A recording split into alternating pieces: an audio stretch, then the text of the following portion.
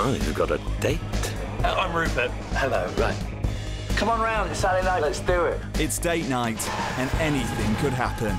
We can just say goodnight if you want. I'm terrified. Don't stare. You are amazing. And here I am going on about my mother. Cucumber continues Thursday at 9 on 4.